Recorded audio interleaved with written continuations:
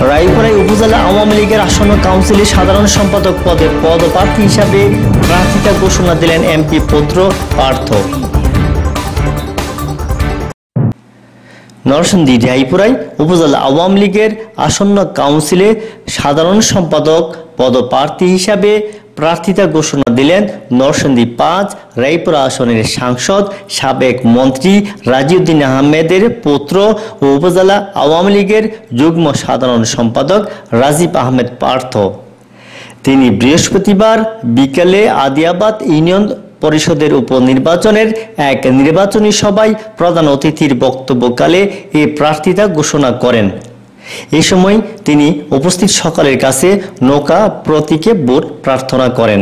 এ সময় উপস্থিত ছিলেন আমিরগঞ্জ ইউনিয়ন পরিষদের চেয়ারম্যান মোহাম্মদ নাসির উদ্দিন খান, রাধানগর ইউনিয়ন পরিষদের চেয়ারম্যান মোহাম্মদ খোরশেদ আলম তপন, রায়পুরা ইউনিয়ন পরিষদের চেয়ারম্যান মোহাম্মদ আনোয়ার হোসেন হালিম চর্ষবদ্দী ইউনিয়ন পরিষদের চেয়ারম্যান হাজি মোহাম্মদ নাসির সহ আরও কয়েক ইউনিয়ন পরিষদের চেয়ারম্যানগণ। এছাড়াও আদিবাদ ইউনিয়ন আওয়ামী লীগের সভাপতি আব্দুল সাত্তার সহ বিভিন্ন ইউনিয়ন আওয়ামী লীগ ও তার সহযোগী সংগঠনের নেতৃবৃন্দ নির্বাচনী সভায় উপস্থিত ছিলেন। OK dot TV, news desk.